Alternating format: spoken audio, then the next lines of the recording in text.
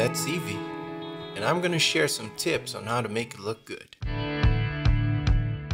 So these are some render settings that you want to change. Increase the sample count a little so you get softer shadows. Also turn on ambient occlusion. Lumen is optional, I personally like it. Turn on screen space reflections and refraction if you're using glass or any translucent materials. In the Shadows tab, check high bit depth and also double the cube and cascade sizes. As an easy to understand example, I made this box with sort of a window. There were no lights, so I added a sunlight. In Eevee, make sure to turn on contact shadows in the shadows tab of your light. That will get rid of light bleeding through meshes. I also increased the strength and gave it a soft sunlight color.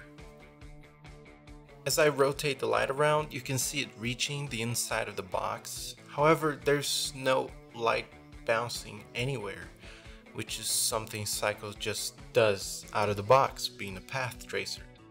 If I change the world color to black, you can see the difference even more clearly. Notice how outside of the illuminated area, everything else is just pitch black. But we can get that light bounce in Eevee too, and it just takes a few steps. First, add a new irradiance volume and scale it up to match the geometry you want. And then in this green tab, you can increase the resolution of the volume, which makes it look better and more accurate, but also increases the baking time. Not the render time though, just the baking time.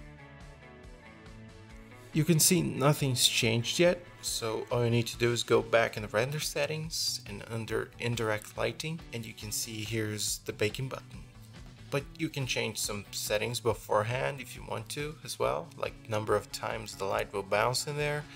Again, the more the better it looks, but baking will take longer. Just wait until the baking is done and I'll notice how the light properly floods the box and it just looks so much better. If I delete the bake, you can see the huge difference it makes. Bear in mind that if you move your lights, you'll have to bake again, like I'm doing here.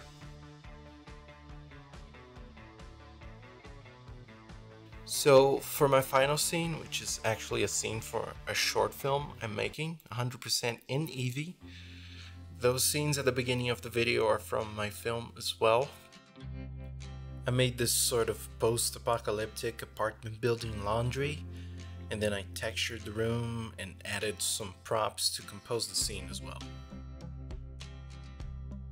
I used this spotlight as my sunlight because I wanted some more fine control over it.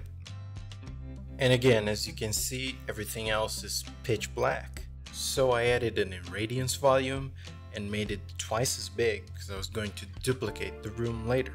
And as far as settings go, I increased the cube map and diffuse occlusion sizes and clicked bake.